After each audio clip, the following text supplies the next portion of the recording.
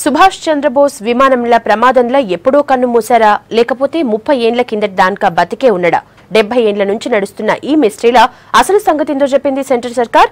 సుభాష్ చంద్రబోస్ ఎప్పుడో కన్ను మూశారని సమాచార హక్కు చట్టం కింద అడిగిన ప్రశ్నకు జవాబు చెప్పింది.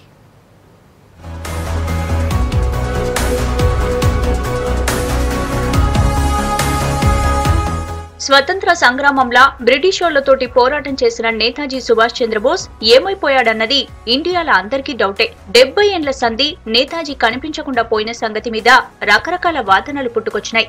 అయితే నేతాజీ పంతొమ్మిది వందల నలభై ఐదు సంవత్సరంలో ఆగస్టు పద్దెనిమిదో తారీఖు నాడు తైవాన్లా విమానం కూలిపోవుడుతోని చనిపోయిందని కేంద్రం తేల్చి చెప్పింది.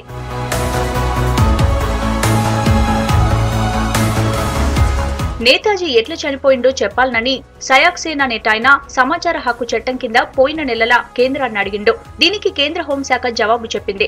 బోస్ ఏమైపోయిండో అనే దాని మీద ఇప్పటికీ షానవాజ్ కమిటీ జస్టిస్ జీడీ కోస్లా కమిషన్ జస్టిస్ ముఖర్జీ కమిషన్లు విచారణ చేసి రిపోర్టులు ఇచ్చినాయని వీటిని పరిశీలించాక పంతొమ్మిది వందల నలభై ఐదుల విమానం కూలిపోవుడుతోనే నేతాజీ చనిపోయిందని నిర్ధారణకు వచ్చామంది కేంద్రం.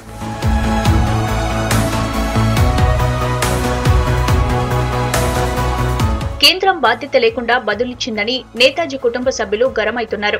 షానవాజ్ కోహ్లా కమిషన్ రిపోర్టులు బోగస్ అని విమానం క్రాష్ జరగలేదని justice Mukherjee committee చెప్పిందన్నారు.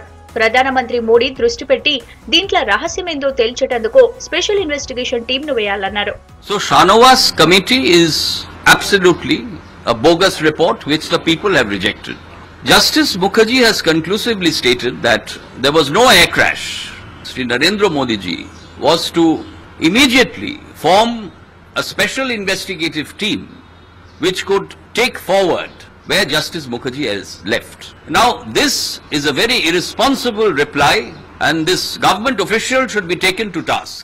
Netaji mystery మీద రిటైర్డ్ జడ్జ్ విష్ణు సహాయ్ ఏకసభ్య కమిషన్ రిపోర్ట్ ఇంకా ఇయ్యలేదని కేంద్రం అప్పుడే ఎట్లా క్లారిటీకి వస్తుందని అడిగిండు ఆర్టీఐ కార్యకర్త సయాబ్ సేన్ తూర్పు యూపీ ఫైజాబాద్ లా పంతొమ్మిది వందల ఎనభై ఐదు దాకా గుమ్నమి బాబా అలియాస్ భగవాన్జీ అనేట ఆయన బతికిందని ఆయన్నే నేతాజీ అని చాలా మంది అనుకుంటున్నారని దీంట్లో ఇంకింత క్లారిటీ కావాలన్నాడు this is not at all acceptable from the government point of view. And the other thing is, uh, there is a still a Sahai commission going on in Uttar Pradesh, and the government concludes that Gumnami Baba was not Netaji. So you you cannot do this. There is a commission already; it has not submitted its, its report. So what I feel they are trying to duck the question and they are trying to just close the case. Mukherjee commission ఇచ్చిన రిపోర్టుల గుమ్నమి బాబా గురించి కూడా ఉంది. అయితే ఆయనకు నేతాజీకి సంబంధం లేదని commission తేల్చిందని ఆర్టీఐకి ఇచ్చిన రిప్లైల కేంద్రం చెప్పింది.